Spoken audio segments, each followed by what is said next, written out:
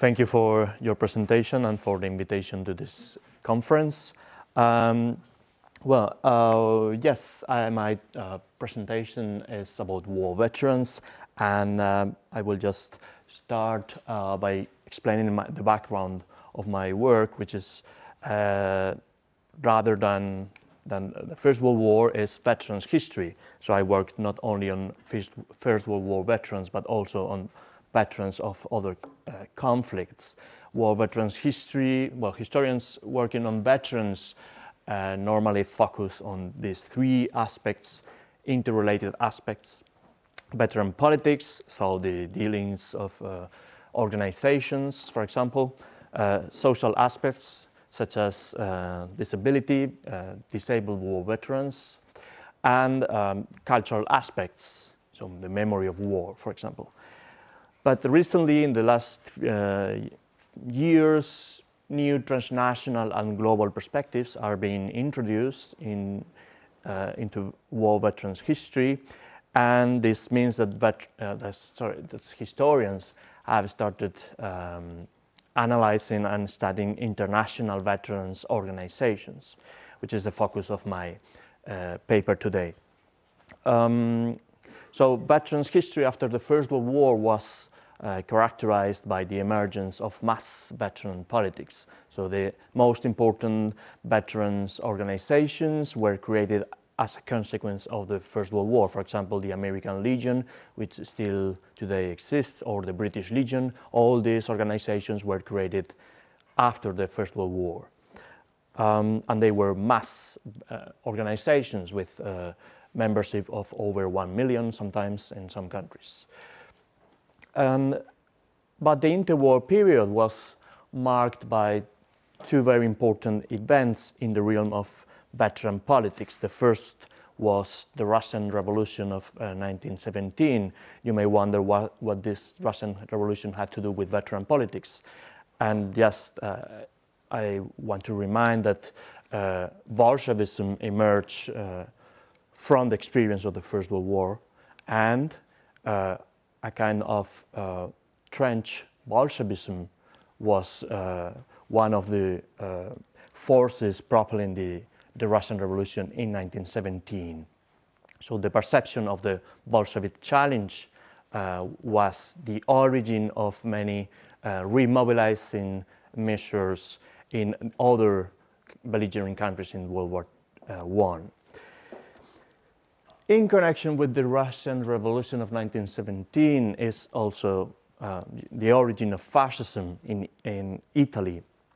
Um, Mussolini was formerly a socialist, as you know, and the perception of the Russian Revolution led him to uh, define a new ideology, fascism, as soon as uh, late 1917. Mussolini was already writing about a new ideology uh, in which veterans will have a very important political role. So for Mussolini and the, the early fascists, veterans were conceived as uh, political actors, as mm, nationalists and, and combatants.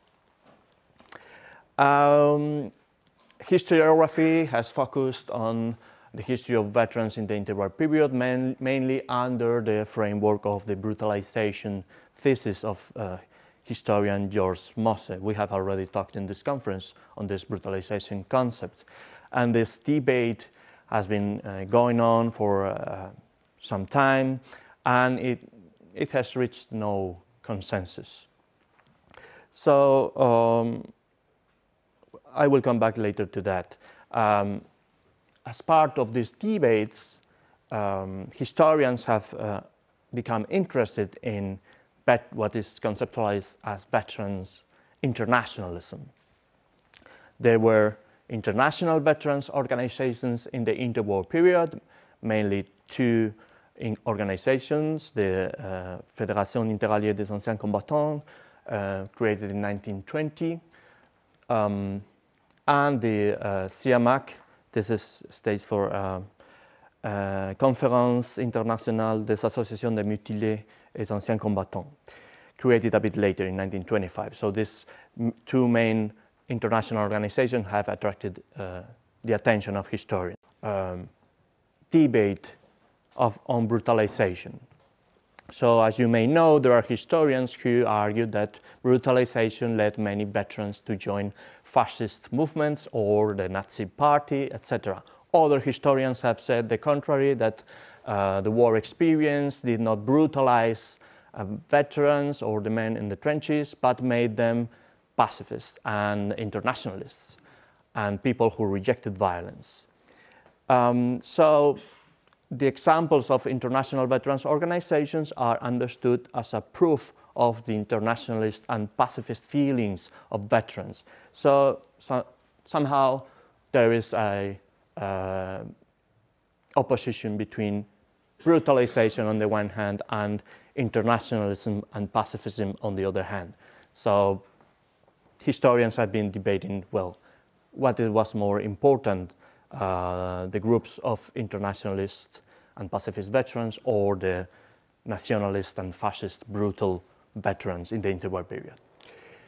This is the uh, main uh, book published on the topic so far, on the topic of uh, veterans internationalism, edited by Julia Eichenberg and John Paul Newman, and it collects contributions on uh, different national examples of uh, participation of veterans in international organizations. Well, the um, overall interpretation of these historians uh, on this volume and other historians such as Antoine Prost um, is that this uh, participation of veterans in international organizations, uh, which uh, they have, these international organizations have the main purpose of promoting peace. So they argue that this is main, the main proof of the uh, let's say, positive uh, effects of the war experience. They argue that veterans, as they have experienced war and terrible, terrible things, the confrontation with death, etc., became pacifist and uh, people prone to find an understanding with uh, former enemies and uh, other nations. Well, stretching this argument, for example, Antoine Prost wrote in 2013 that the Universal Declaration of Human Rights in 1948 is the ultimate victory of citizen soldiers. And um, some historians also uh, argue that veterans can be understood as, uh, let's say, ambassadors of goodwill or uh, as the best uh, speakers for peace. In my view, however, this is uh, not the uh, best way of understanding international veterans organizations and international activism. There is an overall uh, opposition also between the concept of cultures of victory and cultures of defeat. So according to these historians, uh, in Germany or Italy, veterans will have developed cultures of defeat that led them to join nationalist and fascist movements. Whereas in countries such as France, their veterans developed uh, cultures of victory that in the end were transformed into um, cultures of reconciliation. This really, well, in my view, it doesn't work. Uh, for, there are many reasons there are many caveats to this uh, overinterpretation. When one is the fact that it is based on a view on history as uh, a juxtaposition of national histories for what happened in Germany did not happen in France, etc. Um, and other uh, reason is that, for example, in the case of Italy, what was uh, the predominant war culture. It was, was it a culture of victory because Italy had won the First World War, or was a culture of defeat because veterans joined in substantial numbers fascist movements? So there are many caveats on this in these uh, debates on culture of, cultures of defeat and victory, brutalization, and internationalism. So in my view, this, this concept, this, this uh, uh, conceptualization is an artificial uh, polarization that does not reflect uh, historical complexity.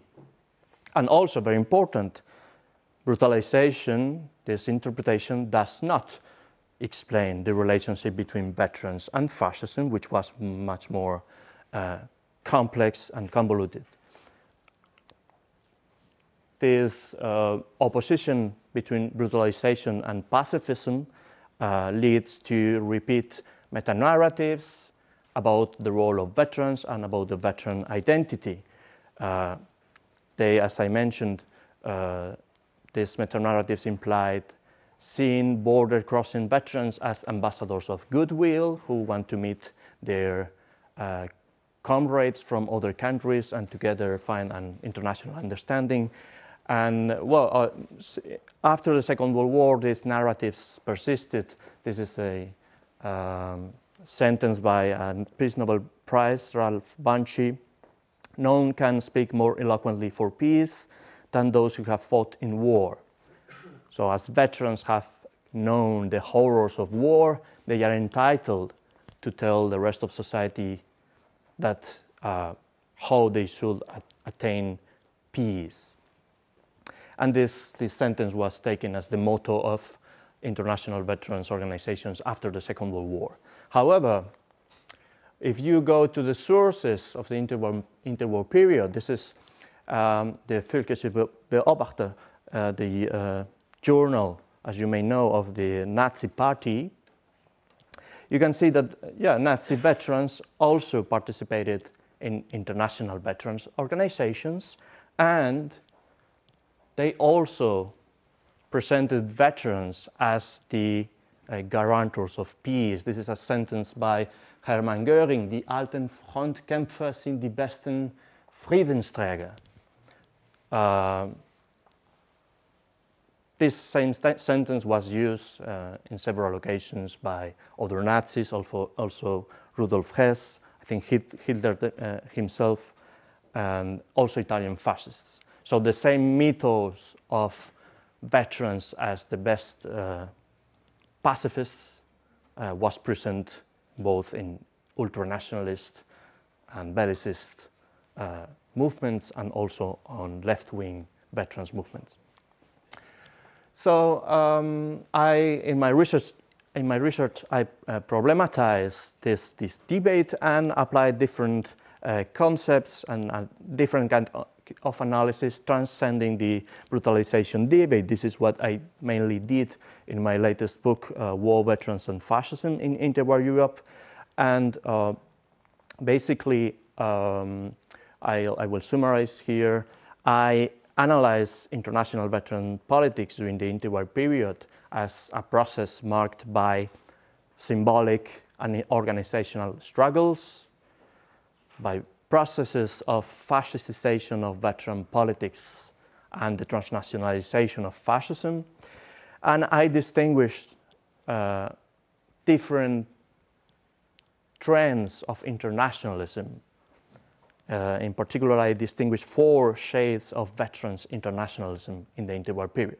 So it is not that I identify internationalism with pacifism, but that there were different forms of this uh, activity. Mm, so the four versions of veterans internationalism that I, I identify, first, uh, there was a communist internationalism. Well, communist uh, first a socialist internationalism that de uh, developed, uh, embracing uh, communism. Later, this is the first real uh, ideological uh, internationalist trend among veterans after the First World War, and it emerged from the Russian Revolution.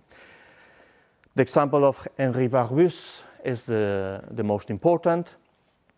Uh, you know, he was a French writer and later he, he was a Republican and a, a, um, pacifist, author of uh, the famous book Le Feu. And he was uh, one of the founders of uh, a socialist and later communist French veterans organization, the ARAC, and he already in October 1919, created with other veterans from um, Germany, a Veterans International. Um, against this, this is Henri Barbusse, against this project, um, conservative veterans, mainly from, from France, but in connection with conservative British veterans, um, there was another project of an international veterans organization, which was the FIDAC, created in, during 1920. Uh, this was, uh, yes, I think it was yesterday, another presentation talked about the FIDAC and the Memorial uh, and this presentation showed that, no, actually, the FIDAC was not really promoting peace.